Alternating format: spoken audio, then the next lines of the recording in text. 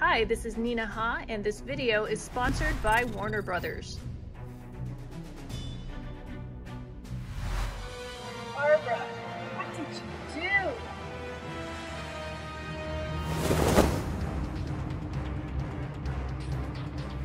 Hi everyone, I'm Nina Ha, proud to be your DC Wonder Woman ambassador for Warner Brothers. Today I present to you Rubie's gold armored costume from the movie 1984. Wonder Woman's golden armor costume appeared for the very first time in 1996 on the pages of DC Comics for Kingdom Come. My favorite thing about dressing up is that I get to feel like a real life superhero. When I put on the boots and I grab the gauntlets and I strike the pose, I really feel amazing.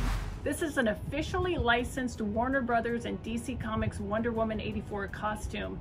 The Wonder Woman Gold Armor Deluxe costume comes with this Golden Eagle helmet, these detachable wings. You can also substitute by buying a separate pair of wings if you really like that wingspan. It has attached armor, gauntlets, and the shoe covers as well. Thank you all for checking out today's outfit of the day. Thank you to Warner Brothers. If you'd like to find out how you can get your own Wonder Woman costume, check out the link in my description. And we'll see you all next time. Thank you Warner Brothers for sponsoring this video.